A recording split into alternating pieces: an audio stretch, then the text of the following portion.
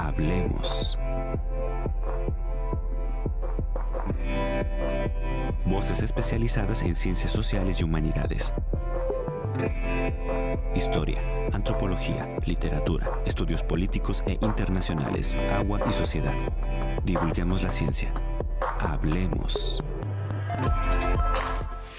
¿Qué tal? ¿Cómo están? Bienvenidos a este espacio del Colegio de San Luis. Se acerca ya esta fecha del 20 de noviembre, el día en el que los mexicanos recordamos el inicio de la Revolución Mexicana.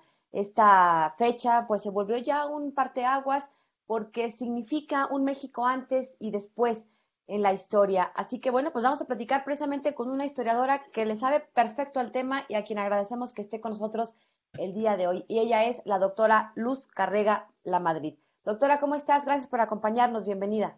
Hola, ¿qué tal? Muchas gracias por la invitación, Lidia.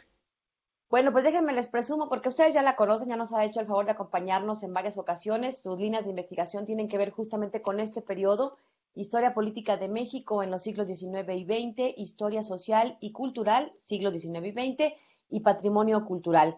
Tiene varios proyectos de investigación relacionados con orden político y relaciones de autoridad en México, eh, digitalización de archivos históricos, eh, ha rescatado varios acervos de Ciudad Fernández, Río Verde, en fin, tiene un importante trabajo también en esta, en esta materia.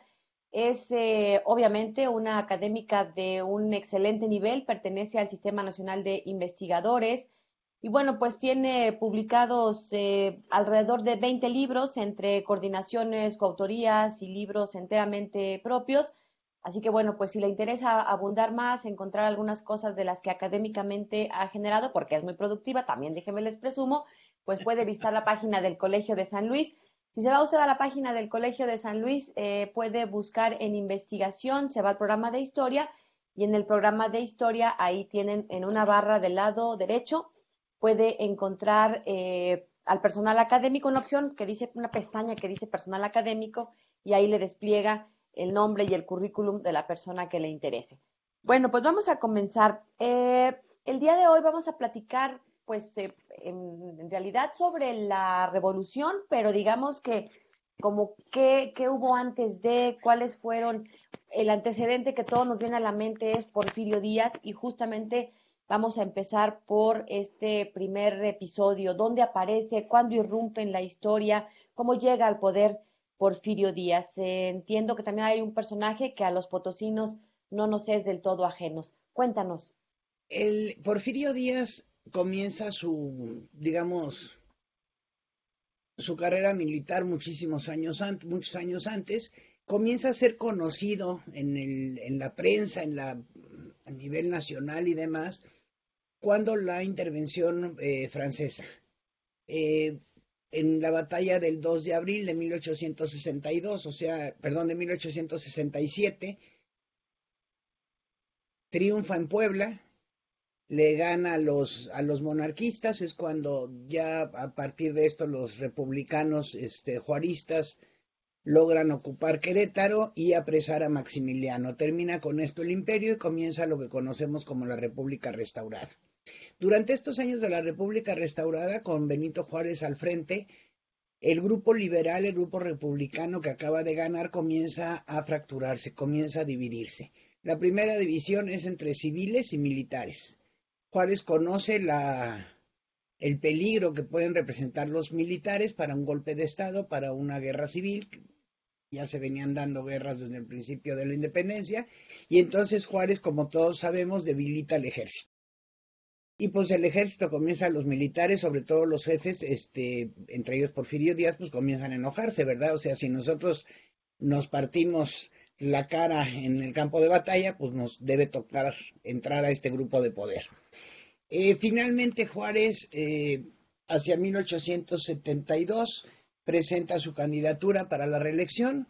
Eh, Díaz, y apoyado por algún grupo de militares, se levanta en armas con el plan de la Noria contra la reelección de Juárez. Fracasa este movimiento, más bien se queda sin razón de ser porque Juárez, como sabemos, muere recién pasadas las elecciones en julio este, y bueno, ya no hay motivo para, para continuar el levantamiento. Viene Lerdo de Tejada como presidente, Lerdo de Tejada en 1876 presenta también eh, su intención de reelegirse y Díaz se levanta con el plan de Tuxtepec.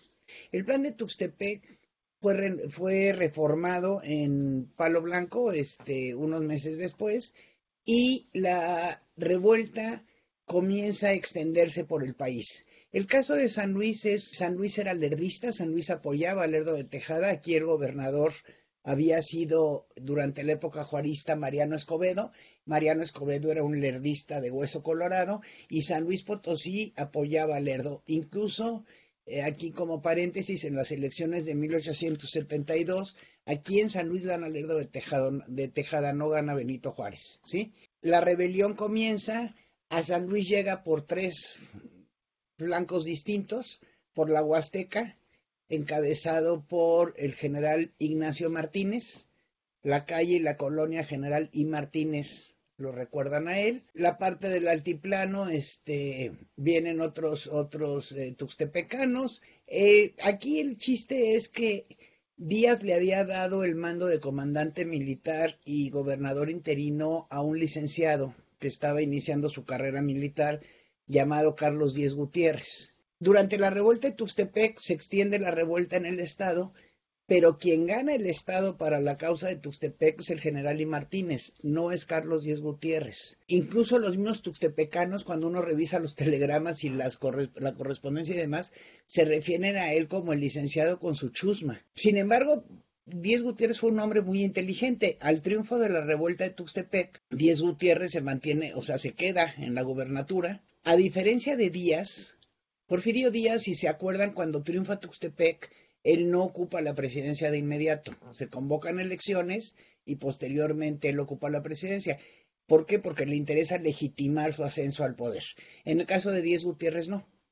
En caso, Díez Gutiérrez ocupa la gubernatura interina, él convoca elecciones para el Congreso, pide una licencia, el Congreso convoca elecciones y Díez Gutiérrez es electo gobernador. Y como sabemos, Díez Gutiérrez se va a quedar en la gubernatura de San Luis hasta su muerte en 1898, excepto el periodo de 1880 a 1885, en que, siguiendo los postulados de Tuxtepec, en la presidencia va a entrar Manuel González y en la gubernatura de San Luis entra Pedro Díez Gutiérrez, este hermano de Carlos. Se acerca mucho Carlos Díez Gutiérrez este, al grupo porfirista, incluso durante el gobierno de Manuel González, eh, Díez Gutiérrez se va a convertir, bueno, va a ser nombrado ministro de gobernación, ministro de gobierno, y es una gente muy cercana al grupo de poder. Eh, Díaz le tuvo siempre mucha confianza. Sabía que él podía tener controlado aquí el, Estado. Ahora, Díaz Gutiérrez sí es tuxtepecano desde el origen, pero eh, el grupo porfirista que se va integrando tanto en la ciudad, tanto en el estado de San Luis como a nivel nacional, no necesariamente todos fueron tuxtepecanos. Díaz va o sea, se va integrando este grupo y lo mismo vamos a encontrar, sí, tuxtepecanos, pero también lerdistas, pero también juaristas, pero también imperialistas, ¿sí? Y Díaz Digamos va, que va haciendo... las paces con algunos grupos y los va incorporando, les va dando como su, su rebanadita de pastel del poder. Sí, mira, Díaz tenía una característica que a mí me parece muy importante, yo no la tengo, esa cualidad, él sí la tenía, de conocer a las personas. Díaz podía o sea, con unas cuantas palabras, un vistazo, Díaz podía saber cómo era la persona. Entonces, quien no le, quien no le inspiraba confianza, no lo, no lo juntó al pastel. Donde pudo notar que había confianza, que había posibilidades de apoyo, ahí los fue acercando. Hay un caso para, para San Luis, a ver si con este nos queda un poquito más claro. En el caso de San Luis, en la zona de la Huasteca, los santos apoyaron este, la revuelta de Tuxtepec. Los santos tenían un pleito por el poder, por el control político de la zona de Tamazunchale, Tancanhuitz y demás, con la familia Martel. Los Martel no apoyan la revuelta de Tuxtepec, pero al final de la revuelta de Tuxtepec, cuando se va integrando ya este grupo, Resulta que quienes van a, salir favorecidos son los Martel y no los Santos, porque Díaz se da cuenta que los Santos, claro, no se da cuenta él personalmente a través de Díaz Gutiérrez y más, se da cuenta de que los Santos no, no van a ser gente de confianza, no lo van a apoyar. Y la familia Santos si nos vamos al recorrido del porfiriato, digamos, pues que se la va a ir guardando a Díaz. Y finalmente, el primero que apoya aquí en San Luis a Francisco y Madero es Pedro Antonio de los Santos, es el que le ayuda a escapar de la ciudad de San Luis. ¿Por qué? Porque en el camino los Santos perdieron poder, perdieron tierras, etcétera, este, hasta que, bueno, finalmente pudieron resurgir, por decirlo de alguna forma, ¿no? Sí, en algunas ocasiones Díaz tomó la decisión de terminar con algún enemigo de manera violenta, pero en general lo que Díaz hizo fueron alianzas. Hay una historiadora, eh, María Eugenia Ponce Alcocer, que ha publicado, ha trabajado ella la cuestión de las elecciones durante el porfiriato, las elecciones y reelecciones de Porfirio Díaz. Y ella ha demostrado que cada elección, cada reelección, fue resultado de una amplia negociación. Había muchas formas de debilitar a los grupos de poder, ¿sí? Regreso al caso de San Luis, un ejemplo es el ferrocarril. Antes de la llegada de Carlos Díaz Gutiérrez, antes de la llegada de Porfirio Díaz, el centro de las decisiones políticas y económicas del Estado estaba en Río Verde, no en la ciudad de San Luis, que era donde correspondía. ¿Y qué va a hacer el grupo porfirista? O sea, Porfirio Díaz, sus gobernadores, en este caso Díaz Gutiérrez, lo que van a hacer es jalar el centro de poder a donde corresponde, donde está el gobernador o donde está el presidente. En el caso de Río Verde, ¿cómo lo debilitaron? Bueno, utilizaron varias estrategias y una de ellas fue dejar a Río Verde fuera de la ruta del ferrocarril. Y entonces el grupo encabezado por los Verástegui pues va debilitándose. Entonces sí son alianzas, son negociaciones que se van haciendo. Muy interesantes, por cierto. Si algo sabía, tenía esta facilidad de ir tejiendo fino para, con las miras puestas en el largo plazo, ¿no? Sí, sí, eh, No se nos olvide entonces que esta eh, mención, pues, de la revuelta de Tuxtepec tiene que ver con los postulados iniciales que acabarían siendo ya contradictorios porque empieza con la batalla de la no reelección, ¿no? En este caso de, de Lerdo de Tejada, ¿cierto? Sí, sí, sí. Lo que sucede un poco es que al parecer Díaz se da cuenta que cuatro años no son suficientes para la obra. Nos tenemos que acordar que México desde 1810 que estalló el movimiento de independencia, desde 1821 que nace México, prácticamente no había tenido un año sin sin levantamientos. El único presidente que había logrado terminar su periodo presidencial, ahora sí como Dios manda, había sido Guadalupe Victoria, que fue el primero. Entonces, Díaz pues se convence de que se necesita mantenerse con todas las críticas y todo lo que uno pueda este obviamente decir, ¿verdad? Pero bueno, esa era su justificación. México no está listo para la democracia. Era demasiado joven, ¿no? Claro, y que es lo mismo que declara en la entrevista este, con Krillman, ¿no? Este, en, en 1908, o sea, México todavía no está listo. Todavía hay que dejarlo como niño, hay que irlo llevando.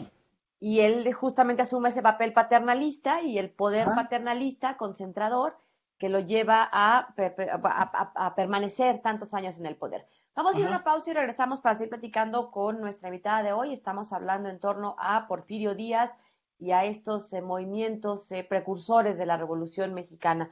Importantes estos episodios que eh, fueron antecedente, digamos, de lo que finalmente surgió el 20 de noviembre de 1910. Hacemos una pausa y continuamos.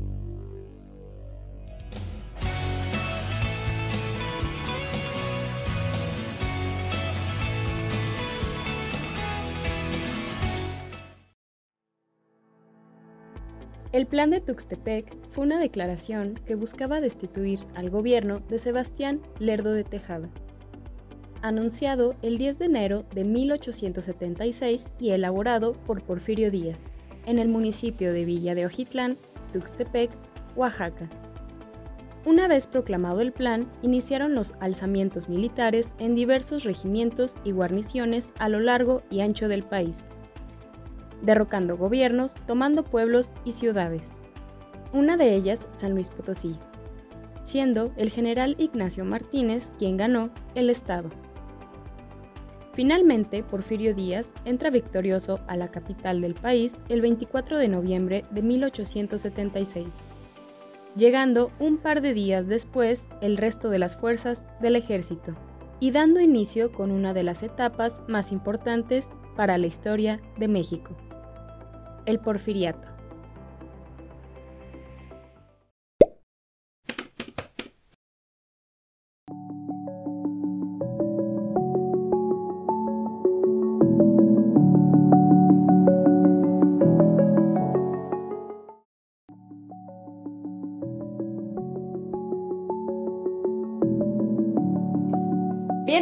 Regreso y vamos a ir platicando con nuestra invitada. Ella es la historiadora Luz Carrega. Dentro de algunos días está por salir un libro que se llama Historia y Memoria, el México de Porfirio Díaz.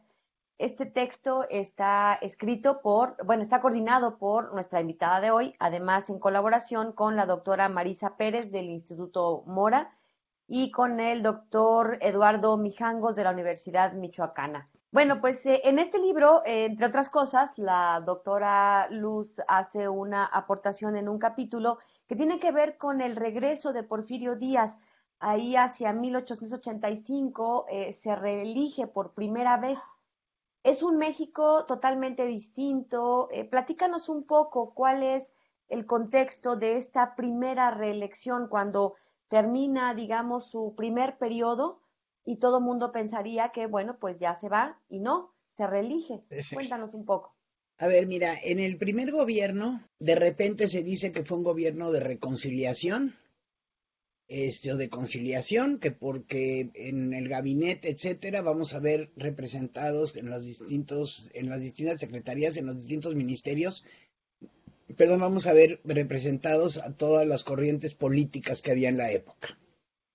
Eh, José Valadez, que escribe a principios del siglo XX, él dice que no es un gobierno de conciliación, porque conciliarse o reconciliarse, pues quiere decir ponerse de acuerdo, este, casi que disculparse también. Y él más bien lo denomina como un gobierno de equilibrio, lo cual me parece que es este, más acertado. Ese es el primer gobierno de Díaz. Si vemos los cambios que va haciendo en el gabinete y demás, vamos dándonos cuenta que lo que está haciendo es aprender.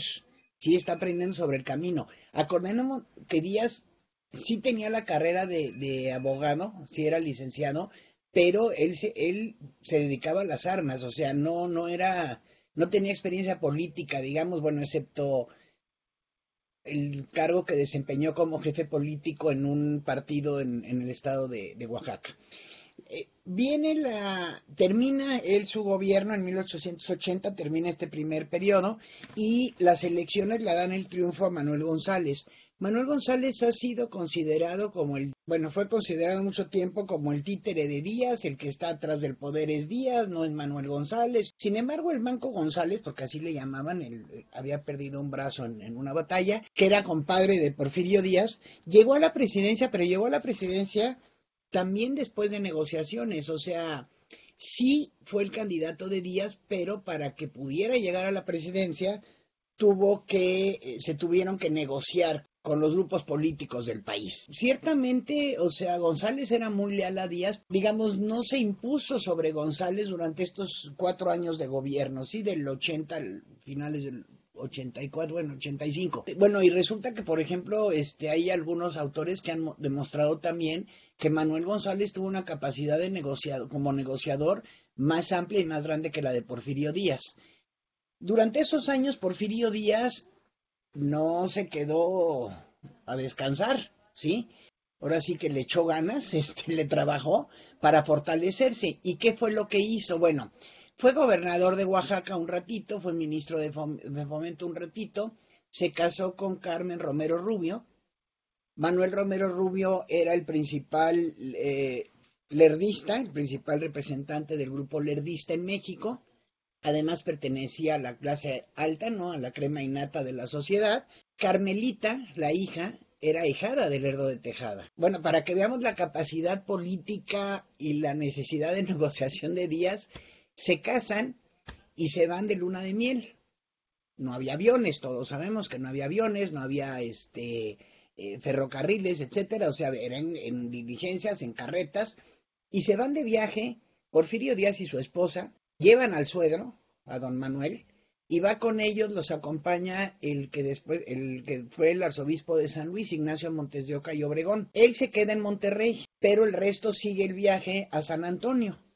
Y uno dice, bueno, ¿y por qué cargan con el suegro? Porque a Díaz lo que le interesaba era, en San Antonio, entrevistarse con Sebastián Lerdo de Tejada y hacer las paces con Lerdo de Tejada. ¿Qué mejor carta de presentación que llevar al compadre, ¿no? A don Manuel Romero Rubio y a la hijada. Y pues según dicen, este Lerdo de Tejada recibió muy bien a don Manuel y a su hija, pero no le no recibió para nada a Díaz. O sea, Lerdo de Tejada no le, no le perdonó a Díaz haberlo corrido de la, de la presidencia. Esto nos da un poco la pista de, de del interés de Díaz en las negociaciones, en las alianzas, en, en, pues en llevar la fiesta en paz, ¿sí? Ciertamente el matrimonio también le ayuda a que la clase alta lo reciba.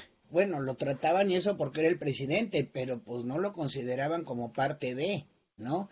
Cuando se inaugura el ferrocarril aquí en San Luis en 1888, se hace un baile en la lonja en honor al presidente Porfirio Díaz, que vino a la inauguración, pero la discusión estuvo en cómo vamos a permitir, o sea, cómo va a poder entrar Porfirio Díaz y Carlos Díaz Gutiérrez a la lonja si no son socios. No, los estatutos eran muy, muy estrictos en ese momento. Entonces, lo que decidieron hacer es, en reunión de socios y demás, la mesa directiva, establecer que el presidente y el eh, gobernador iban a ser considerados como socios honorarios. Ojo, no Porfirio Díaz y Carlos Díaz Gutiérrez, sino quien ocupara el cargo de presidente y quien ocupara el cargo de gobernador, ¿sí? Entonces, ese matrimonio le abre las puertas como para varios lados, ¿sí? Y entonces, bueno, en estos años negoció, fue haciendo, fortaleciendo las alianzas y demás, y finalmente, pues esto lo, lo, lleva de nuevo a la presidencia en 1885. Ahora, cuando él llega a la, a la, presidencia nuevamente, pues había gobernadores, pues de todo, ¿verdad? Había... Bueno, lo primero que sucede, para que entendamos, lo primero que sucede es que se inicia una campaña de desprestigio contra Manuel González lo acusan de todo, de este, de enriquecimiento ilícito, e, etcétera, ¿sí? A Díaz le llegan muchísimas cartas, muchísimas acusaciones, y Díaz siempre contesta, tráiganme las pruebas, o sea, muéstrenme las pruebas. ¿Qué hace Díaz con Manuel González? Pues lo apoya para que ocupe la gobernatura de Guanajuato. Y Manuel González la verdad es que responde bien porque se queda en Guanajuato y ya procura no aparecer en escena digamos que prefiere estar de bajo perfil hasta que las críticas y las acusaciones y la persecución política contra él pues va disminuyendo y va desapareciendo. ¿Por qué es esa persecución contra González? Porque había quienes suponían que cuando Díaz terminara el periodo de 1885, González iba a regresar a la presidencia y que se iban a ir turnando los dos. Pero bueno, sabemos que no sucedió así cuando Díaz termina el periodo de 1885, este, en 1888 se, se reelige y se va a quedar con reelecciones continuas, pues hasta 1911 que renuncia, ¿sí? O sea, fue, perdón, el eh, primer periodo fue del 77 al 80 de Porfirio Díaz y luego lo, lo, releva Manuel González del 80 al 84 y luego regresa ya del 84 hasta 1911. Ajá, con elecciones cada cuatro años y con las reformas a la constitución que se necesitaban hacer.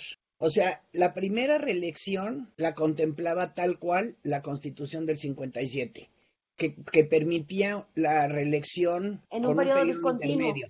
Ajá. No, no consecutiva, sino con un periodo intermedio. En ese segundo periodo de gobierno se lleva a cabo una, reforma constitucional que va a permitir la reelección ya consecutiva. Lo mismo sucede en los estados, ¿sí? En el estado de San Luis, durante el gobierno de González, como mencioné hace rato, va a gobernar Pedro Díez Gutiérrez. Cuando termina ese periodo de cuatro años, regresa este Carlos Díez Gutiérrez, se reforma la constitución y se va reeligiendo hasta que él se muere en 1898. En el caso de Díaz hay una otra reforma a la Constitución para el último periodo presidencial donde se cambia a seis años el, el, periodo de gobierno. En lugar de cuatro se pasa a seis. En realidad esto no se llevó a la práctica porque pues estalló la revolución y Díaz se vio obligado a renunciar. Y los sexenios realmente se van a instaurar hasta el gobierno de Lázaro Cárdenas. Bueno, él es el primer presidente que gobierna seis años, ¿no? a mí me parece muy rescatable esto que mencionas de Porfirio Díaz, que tiene como esta precaución o este cuidado de que el marco legal eh, sea respetado. Y entonces, aunque sea cambiarlo y ponerlo a modo, pero al final está respetando la ley vigente, ¿no? Exacto. En, en eso él fue muy cuidadoso. Y sí, efectivamente, como dices, aunque sea porque, bueno, pues el Congreso de la, de la Unión, pues eran, eran los diputados y demás, pues él les había dado el visto bueno para su elección, ¿sí? O sea, Díaz sí logra controlar las riendas de la política, del poder político, pero constantemente negociando, constantemente haciendo alianzas, siendo muy cuidadoso, eh, instauró un gobierno autoritario, no dictatorial, para poder definirlo como una no, o sea, como una no dictadura tiene que ver este respeto a la legalidad. En la parte política, en la parte económica, digamos que dio más libertad o hubo más libertad a los estados. Por ejemplo, en el caso de San Luis, el gobernador Díez Gutiérrez solicitó un préstamo a Londres con la, el argumento de terminar, este, o sea, el traspaso para la concesión del ferrocarril central y no tuvo que pasar por el centro. O sea, directamente fue, o sea, en la parte económica, digamos que ahí sí hay más libertad que en la política. Vamos a ir a una pausa. Les recuerdo que este programa lo puede usted ver en estreno los martes a través de 9 TV, se repite los jueves y en nuestro canal de YouTube del Colegio de San Luis ya está disponible mañana miércoles. Hacemos una pausa y regresamos porque la verdad es que este Porfirio Díaz era tremendamente hábil en todas sus negociaciones. A mí me sorprende, por ejemplo, yo sospecho que ese matrimonio con doña Carmelita Romero Rubio, ella tenía 17 años, él tenía 51 años y por supuesto que le abría las puertas de la política. Pero bueno, platicamos de esto y más regresando de la pausa. El Colegio de San Luis invita al Cuarto Congreso Internacional Diablos, Brujas y otros entes sobrenaturales y fantásticos de la literatura tradicional. Con su segunda temporada, Guerra pregona en los montes al enojado noviembre. Del 22 al 26 de noviembre de 2021 con transmisiones en vivo a través de Facebook Live. Los temas serán en torno a las brujas, espectros, muertos y fuerzas sobrenaturales. Con la participación de ponentes de distintas universidades de México como la Universidad de Guadalajara e internacionales como la Universidad Autónoma de Barcelona, Universidad Pedagógica y Tecnológica de Colombia Universidad Pontificia Bolivariana, entre otras. Consulta el programa completo en nuestra página de Facebook.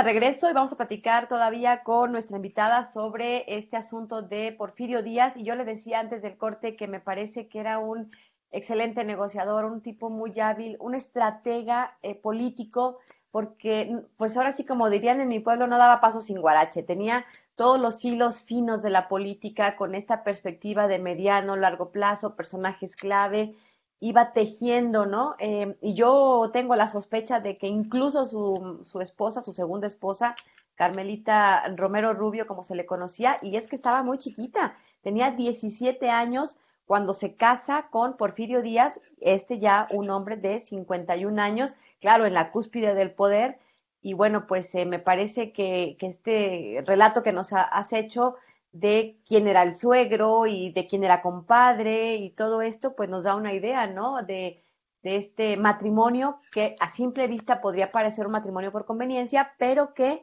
pues tú tienes otros datos. Cuéntanos. Yo creo que fueron las dos cosas, ¿sí? Porque finalmente Carmelita, por ejemplo, lo pulió, se convirtió en su maestra. O sea, eh, Porfirio Díaz, cuando dicen eh, no tenía educación, a ver, o sea, ¿a qué nos referimos con educación? Él cursó los estudios primarios y demás, cursó la licenciatura en Derecho, no tenía modales. O sea, sí, efectivamente, pues a lo mejor, digo, era un generalote, ¿sí? Este, de escupir sobre la alfombra de Palacio Nacional, bueno, del Castillo Chapultepec. Carmelita lo pulió, ¿sí? Carmelita, como mencioné yo hace rato, pues era de las familias de la clase alta, de la crema y nata, entonces lo pulió, le enseñó francés, o sea, los modales, cómo comportarse, etcétera.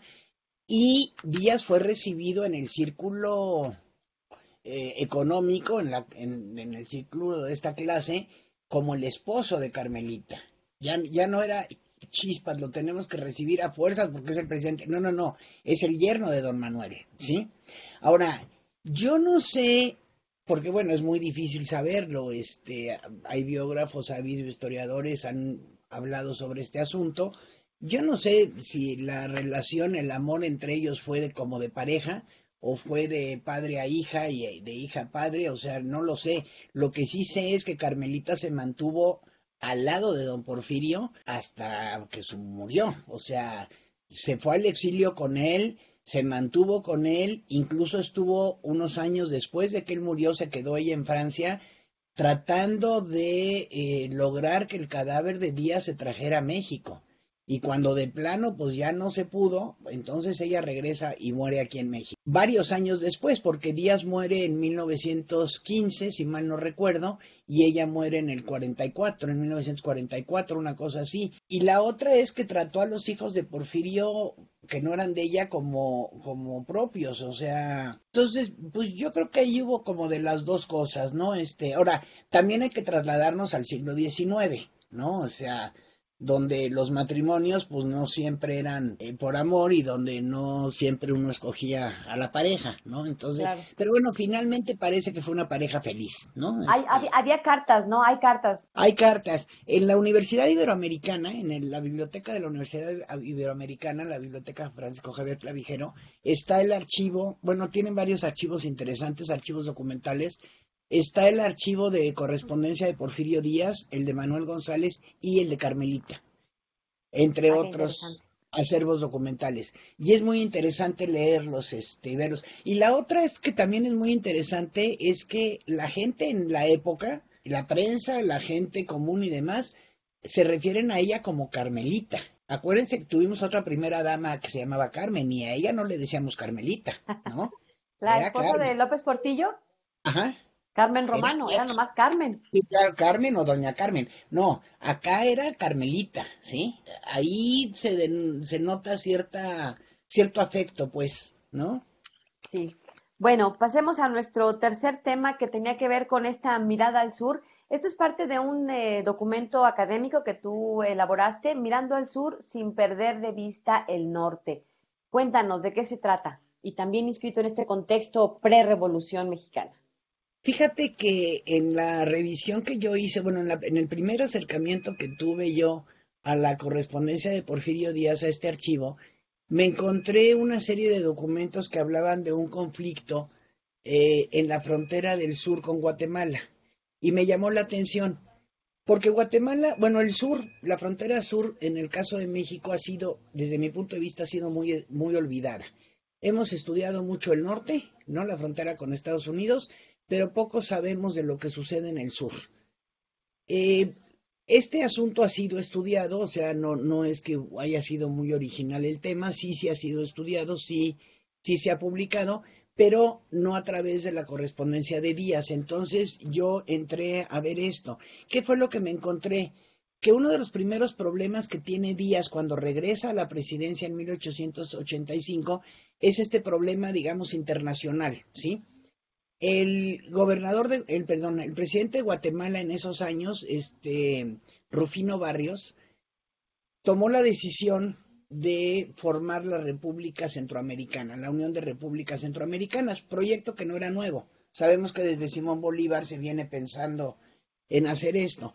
Eh, lo que pasa es que aquí este varios pues no tomó la opinión de los demás países, ¿verdad? Él decidió que este que había que, formarla, presentó él si era dictador, presentó la este la propuesta al Congreso, el Congreso lo declaró formada la, la unión. Y pues resulta que El Salvador, Nicaragua y Costa Rica, pues dijeron, no nos gusta la idea, ¿verdad? Honduras sí, Honduras apoyó a, a Barrios. Pero estos tres países, El Salvador, Nicaragua y Costa Rica, rápidamente le escribieron a Porfirio Díaz de, pidiendo auxilio, ¿no? Finalmente México pues era el vecino fuerte del norte, ¿no? Entonces, pues échanos la mano porque este nos está queriendo forzar a integrarnos como, una, como un solo país y no estamos de acuerdo. ¿Y qué hace Porfirio Díaz?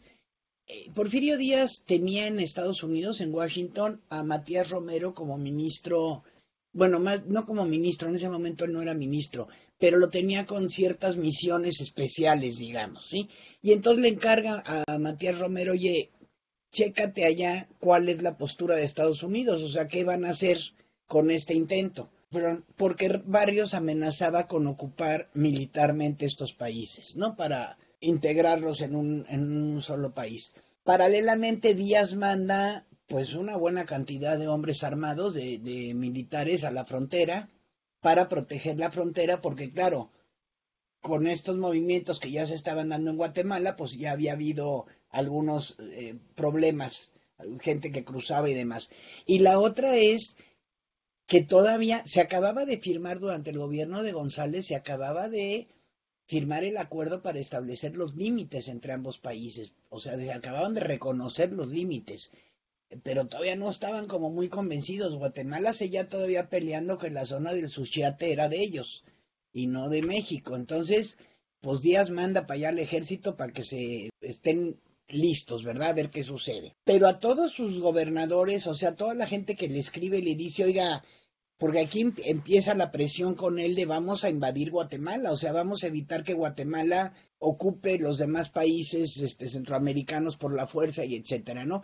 Y Díaz siempre dice, espérense, espérense, vamos a ver qué sucede, qué pasa.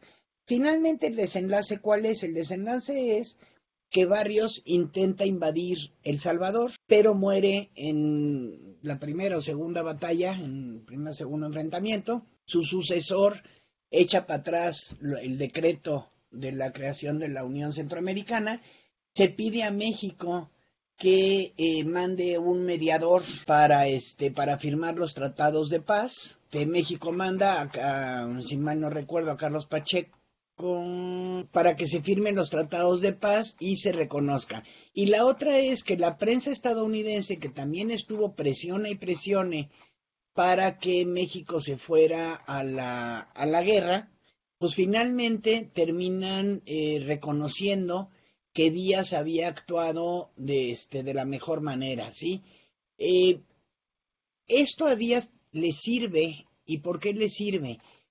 le sirve porque Díaz comienza a construir, bueno, o a fortalecer su figura como el héroe de la paz, ¿sí?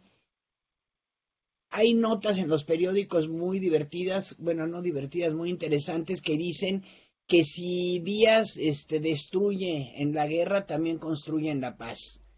Y que él ha estado este, negociando, favoreciendo la paz, porque claro, no, no manda tropas a Guatemala porque pues podría ser una considerada una, una invasión, ¿verdad? Este, definitivamente se está metiendo en un problema. Díaz argumenta esto de la soberanía de la nación, o sea, hay que respetar, no nos vamos a meter, pero finalmente su figura como presidente de México pues sale fortalecida del asunto y que es una idea que nos va a seguir vendiendo porque finalmente esta estabilidad tan necesaria para México, esta ya no más pleitos internos, este desgaste que llevó al país a muchas crisis, no solo políticas, sino económicas, financieras y demás. Bueno, pues esta imagen de venderse como el héroe de la paz, creo que son estos eh, pasos necesarios que él quería para, para la opinión pública, ¿no? También, y seguir justificando, entre otros elementos, su permanencia en el poder. Vamos a la última pausa del programa, regresamos para cerrar con el último bloque y ya pues eh, en este fin del porfiriato, inicios de la Revolución Mexicana. Estamos platicando con la doctora Luz Carrega, ella es investigadora del programa de historia aquí en el Colegio de San Luis. Continuamos.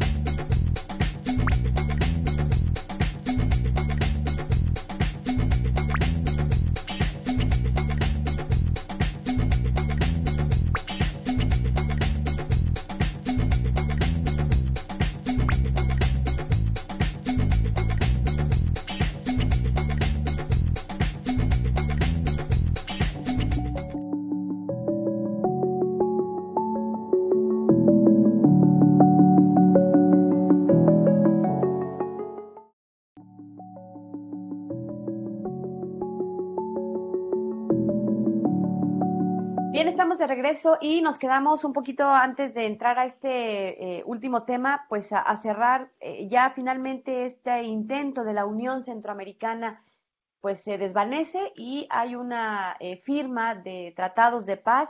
cuéntanos, ciérranos este, este episodio. Sí, mira, perdón, cometí un error. Este, no es Carlos Pacheco el que mandan de, de representante de México, es Joaquín Baranda. Joaquín Baranda eh, que incluso fue gobernador allá en el, en el sur, en la península de Yucatán, y además conocía muy bien la zona, y entonces este Baranda, pues después de un traslado ahí, para que, eh, que nos demos cuenta cómo en las comunicaciones, para poder llegar al, a Centroamérica, se va, ahí ya había ferrocarril, se va a Paso del Norte, ya estaba el ferrocarril central funcionando, Paso del Norte es hoy Ciudad Juárez, de ahí sigue Paraguay más, va este, hacia el Golfo de California, de Baja California, ahí se embarca y llega hasta Centroamérica. Eh, las negociaciones se llevan a cabo en paz, se firma el armisticio y finalmente Nicaragua, Salvador, Costa Rica y Honduras hacen la paz con Guatemala y ya este digamos que van a llevar ya la, fiesta en paz. Las tropas que Díaz había concentrado para este para estar listos en la frontera para ver si que no que el conflicto no llegara a México las destinan a, eh, a resolver un conflicto armado que estaba este, surgiendo en, en, Tepic y algunas otras a, a la zona yaqui que, donde ya estaba el conflicto. Porque también esa es otra, cuando se habla de porfiriato se, se piensa que fue la paz de los sepulcros, o sea que el país estuvo en paz y la verdad es que el país no estuvo en paz fueron muy localizados los levantamientos, no se extendieron, pero continuamente había levantamientos o había movimientos armados. La mancha negra, pues es la guerra yaqui, ¿verdad? Que esa dura casi todo el porfiriato y que termina de una manera muy cruel y, y sangrienta, pues. Pero sí hay como levantamientos en distintas partes del país, ¿no? Sí, no es que le tocara todo miel sobre hojuelas, ¿no? Tuvo que enfrentar pues sus propias eh, batallas internas. Estamos hablando entonces de este episodio de la Unión de Repúblicas Centroamericanas hacia 1885, cuando digamos empieza a afianzarse ya en este gran periodo que habrá de concluir hasta 1911. Bueno, finalmente, eh, cuéntanos un poco cuál fue el principio del fin, porque eh, se acerca ya el episodio de la Revolución Mexicana en esta última etapa del porfiriato? Yo creo que el principio del fin fue, si a mí me preguntas cuál fue la causa, yo diría que es la cerrazón del grupo de poder. ¿No? Que no permitieron, o sea, cerraron el grupo, no permitieron que ingresaran jóvenes, que ingresaran más personas, estos ya pues eran muy viejitos, ¿verdad? Para 1910 ya estamos hablando de un promedio de edad de 80 años, una cosa así, o sea, ¿por qué estoy diciendo esto? Tomo el caso de Madero. El abuelo de Madero fue gobernador de Coahuila, perteneció al grupo de poder porfirista, pero el papá de Madero no pudo entrar a ese grupo. La generación de Madero dijeron ya estuvo bueno, ¿verdad? Ya, ya nos toca. Entonces, digo, Madero se levanta con sus peones de Hacienda. Madero no está buscando este igualdad social, este tierra. Eh, hay una declaración, Jesús Silva Herzog en su historia de la Revolución Mexicana, este, aquí en San Luis, él, él describe, él era jovencito, un adolescente, y él describe la llegada de Madero aquí a San Luis, uno de sus discursos, y dice, y alguien le dijo que a Madero, que si era hacendado, que, que, mejor vendiera sus haciendas o repartiera sus propiedades entre los pobres y demás. Y Madero contestó, la gente tiene más hambre de libertad que de pan. Era una lucha ideológica. Eh, claro, ¿no? Madero se lanza con toda la ilusión de él y de un grupo de que las cosas podían cambiar, de que podían, bueno, no las cosas, de que el grupo de poder podía cambiar. Díaz le ofrece, vamos a presentarnos a la elección de manera conjunta, tú como, tú como vicepresidente y yo como presidente, porque la vicepresidencia se rescata. La vicepresidencia se había eliminado, habiendo vicepresidencia durante la primera mitad del siglo XIX. ¿Quién ocupaba la vicepresidencia? El que quedaba en segundo lugar de los votos, que obviamente era de un grupo político contrario y generalmente el vicepresidente era el que organizaba el golpe de Estado para quitar al que había quedado como presidente. Claro, pues es el primer enemigo, ¿no? El primer enemigo tienes que cogobernar con él, pues ¿cómo? Exacto, pues sí. Entonces la vicepresidencia había sido eliminada. La rescatan en el porfiriato, al final del porfiriato. Entonces Díaz le ofrece, bueno, a los representantes de Madero, le manda recado que se lance a la, a la candidatura, pero como vicepresidente. Pues para que vaya aprendiendo, ¿verdad? Que agarre experiencia en esto. Y Madero dijo, no, o sea, definitivamente no, esa no es la tirada. Entonces comienzan a surgir, eh, cada vez que había elecciones surgían clubes políticos. Para, no había partidos políticos como los conocemos ahora, ¿sí? Eran clubes este, apoyando a uno a otro. Comienzan a, surgir estos clubes antireeleccionistas. Madero comienza a ganar eh, simpatías, a ganar importancia, empieza a hacer pues una gira, ya aprovechando el ferrocarril que ya llegaba a varias partes, comienza a darse a conocer y eh, lo apresan, como sabemos, aquí en San Luis. Lo acusan de, este, de intento de sedición, de estar invitando, incitando a la gente a romper la paz. Lo encarcelan en la penitenciaría de San Luis, que actualmente, eh, el edificio actualmente es donde está el Centro de las Artes. Ahí está, hay una celda donde está la placa de aquí estuvo este preso Madero. Ahí un monumentito este, para recordarlo. Después de un rato a Madero lo dejan este, salir, pero le dan la cárcel, la, la ciudad por cárcel se va a hospedar en un edificio contra esquina de Palacio de Gobierno, también ahí está, al lado de una tienda de telas, ahí está la placa de aquí estuvo Madero y aquí escribió el plan de San Luis. El plan de San Luis en realidad no lo escribe aquí en San Luis, pero parece ser que aquí lo empieza a idear, ¿sí? O sea, debe haber llevado algunos borradores, pero no lo, no lo, no lo promulga aquí en San Luis, o sea, lo da a conocer ya este, más adelante en, en Estados Unidos y Madero logra escapar. O sea, el chiste era mantener a Madero eh, cautivo mientras se llevaban a cabo las elecciones para que no se presentara a las elecciones porque parecía que sí podía ganar, ¿sí? Entonces, finalmente Pedro Antonio de los Santos y otras personas este, le ayudan a que escape, se disfraza de, de mecánico ferrocarrilero y en Estación Peñasco se sube al ferrocarril, y sale del país, ¿sí? Se va para hacia los Estados Unidos.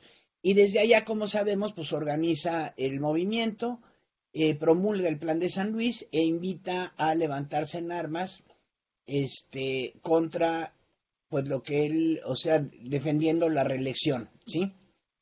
Eh, sabemos que en Puebla, este, es descubierta la conspiración con los hermanos Cerdán. El movimiento este, Madero lo, lo fija para el 20 de noviembre, pero aquí hay que tener en cuenta que el 20 de noviembre Madero cruza la frontera y se levanta en armas mm, máximo con unas 300 personas, o sea, casi todos peones de su hacienda, ¿sí? Pero ya la, digamos, las redes que había tendido Madero ya se habían extendido por el país y el mismo descontento que tenía Madero, pues lo tenían otras personas. ¿Qué pasa en el caso de San Luis? En el caso de San Luis, pues empiezan a levantar también en varias partes del, del estado y vamos a tener, por ejemplo, que en Río Verde se levanta Pedro Montoya, bueno, él se levanta Pedro Montoya en Río Verde, pero también en Lagunillas y en San Ciro. Eh, Francisco de P. Mariel se levanta en la zona de la Huasteca Potosina abarca también la, la Huasteca hidalguense y la veracruzana, eh, Manuel Lárraga en la Huasteca Potosina también, los santos, los hermanos santos, Pedro Antonio, Samuel y Francisco, en la Huasteca, aquí había yo mencionado que los santos habían estado esperando el momento oportuno y este fue su momento. Eh, Leobardo Fongitud se levanta también en la Huasteca, Higinio Olivo en Ciudad del Maíz, Santos Coy en Matehuala, Vanegas y Cedral, Manuel Buentello y Silvino García en la ciudad de San Luis, Mateo Almanza en Real de 14, Nicolás Torres en Salinas y Santo Domingo, los hermanos Cedillo en Ciudad del Maíz. Estos, digamos, van a ser los primeros dirigentes, los primeros líderes que se van a levantar en, en el estado de San Luis, apoyando el plan de San Luis. El plan de San Luis, en estricto, lo que decía es que el gobierno, eh, el gobierno que era actual, el gobierno de Díaz, tenía su origen en la violencia y el fraude. Ya estuvo bueno de tanto fraude, eso se, es sinónimo de usurpación, y entonces se invita a que se levanten en armas, ¿sí? Sabemos que dentro, entre los líderes, los caudillos que pelearon en el, en el estado de San Luis, pues digamos que hubo dos eh, que fueron agarrando como más fuerza, uno fueron los santos, pero probablemente el, más, el, que se fortaleció más fue el grupo de los Cedillo, ¿sí? Que después llevó a Saturnino Cedillo a la gubernatura y al, al Ministerio de Agricultura. Aquí es interesante también aclarar que no se trata de una revolución. Sí en un primer inicio se están levantando, están apoyando el movimiento, la postura de Madero, pero finalmente los distintos caudillos se van a ir este, disgregando, se van a ir este, diferenciando y vamos a tener varias revoluciones. Y, por ejemplo, un botón. El lema de Madero es sufragio efectivo, no reelección, que muy poco tiene que ver con tierra y libertad de Emiliano Zapata, ¿sí? Entonces, pues así comienza a gestarse este movimiento que parece que llevó unos 10 años este, de lucha, ¿no? Bueno, pues yo creo que te vamos a tener que invitar para hacer una segunda parte donde nos platiques un poco de todas estas este, revoluciones y bueno, nos faltó, nos brincamos casi casi de 1885 a 1910 y yo sí quisiera dedicarle eh, no por reivindicar la figura histórica, porque lo volvimos de pronto el villano favorito a Porfirio Díaz, que creo que un poco ya en este siglo cada vez más se ha empezado a, eh, informarse de el otro lado que también tenía eh, la administración de, de por, la gestión de Porfirio Díaz, ¿no? Bueno, pues sí te, sí te vamos a invitar, yo creo que pronto para, para un segundo programa. Doctora Luz Carrega, La Madrid, gracias por habernos acompañado. Al contrario, mil gracias por la invitación. Bueno, pues ya sabes, si quiere conocer más sobre su trayectoria, sus libros, publicaciones, consulte la página del Colegio de San Luis. Ahí en la página del Fondo Editorial puede buscar por autor y viene desplegado toda la información, los libros que están disponibles. Hay varios en descarga gratuita que en la versión del libro electrónico, pero además le anticipo que eh, va eh, a, estrenar un libro muy pronto. Ya es cuestión de días, así que estén pendientes para que eh, lo, vean esta presentación. A través de nuestras redes sociales estaremos informando de manera más constante y actualizada. Ya nos vamos, gracias a todos por habernos acompañado. Les recuerdo que este programa ya está listo mañana a través del canal de YouTube de El Colegio de San Luis. Soy Lidia Juache, gracias, pásela bien, hasta la próxima. El Colegio de San Luis te invita a los eventos y actividades que se llevarán a cabo durante los próximos días. El Colegio de San Luis y el Seminario de Estudios López Velardeanos realizarán el coloquio 100 años con, sin Ramón López Velarde, el 12, 19 y 26 de noviembre a través de Zoom, Facebook Live y YouTube del Colsan. El programa de estudios políticos e internacionales invita al Seminario Permanente de Asuntos Legislativos. En su siguiente sesión, el 17 de noviembre, a las 17 horas a través de Google Meet. El programa Agua y Sociedad realizará el curso Agua, Agricultura y Urbanismo. El 24 y 25 de noviembre a las 16.20 horas en el aula magna del Colegio de San Luis. Regístrate en línea. Se llevará a cabo el Seminario Nacional Online Construcción de Políticas de Igualdad y No Discriminación en Instituciones Formadoras de Docentes de septiembre a noviembre 2021. Para mayores informes puedes contactarte a labgenero.colsan.edu.mx. Consulta los detalles de este y otros eventos a través de nuestra página web www.colsan.edu.mx y síguenos también en nuestras redes sociales.